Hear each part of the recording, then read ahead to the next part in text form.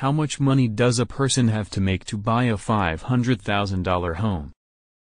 The amount of money a person needs to make to buy a $500,000 home depends on various factors such as the mortgage interest rate, down payment, property taxes, homeowner's insurance, and other associated costs.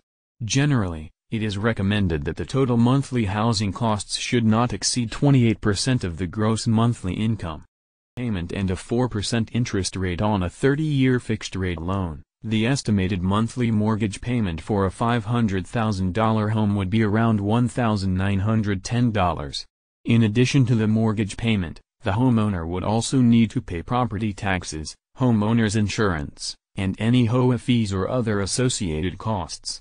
Assuming a total monthly housing cost of $2,500, the monthly income required to afford a $500,000 home would be approximately $8,929. Keep in mind that this is a rough estimate and the actual amount may vary based on individual financial circumstances, loan terms, and other factors. It is recommended that anyone considering purchasing a home consult with a financial advisor or mortgage professional to determine a more accurate estimate based on their specific financial situation.